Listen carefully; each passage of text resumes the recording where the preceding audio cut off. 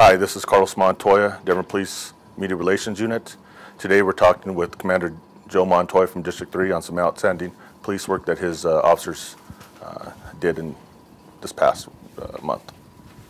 Hi, Carlos.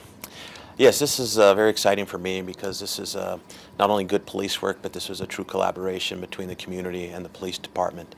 Shortly after the first of the year, um, we were plagued with um, a lot of property crime in District 3, particularly in the East Washington Park and the uh, DU University neighborhoods.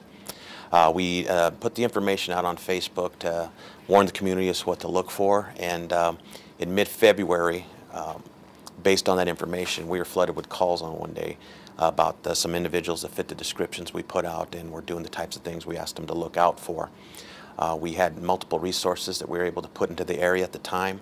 We located the subjects and were able to follow them to their home. Uh, detectives made contact with them and uh, were able to establish probable cause for an arrest.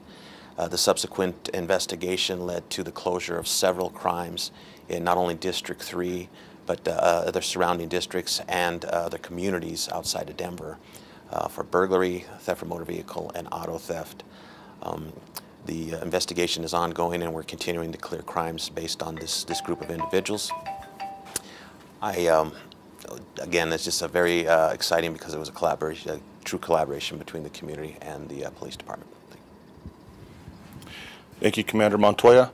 This is Carlos Montoya, Denver Police Media Relations. Stay tuned to us with uh, Facebook, Twitter, and YouTube.